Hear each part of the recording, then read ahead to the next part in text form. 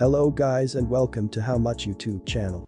Before we start go subscribe to my channel to get more videos on how much your favorite YouTuber earns. And click on the bell icon to get all notifications and never missing any new video. Now let's get started. So how do YouTubers get paid? They make money by placing ads on their videos. And placing more ads equals more money they can make on their videos. The second thing is CPM it means the cost per thousand views.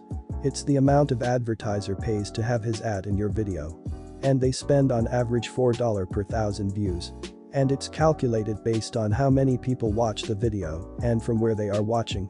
Many factors affect the CPM and it's included demographic content gender, time of the watch. YouTube also will take 45% of your ad revenue from the advertising. Now let's go over Roland S. Martin's channel analytics.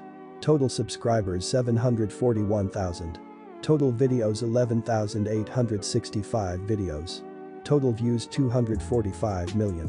Now for the monthly subscribers 10,000 subscribers every month. Monthly views 8.5 million. And now for the income. The monthly income will be 8.5 million views multiplied by 0.004 equals $34,000 every month. And for the yearly income will be $34,000 multiplied by 12 equals $408,000. Thank you guys for watching. Don't forget to like, comment, and subscribe. And let me know who the next YouTuber you want me to do next.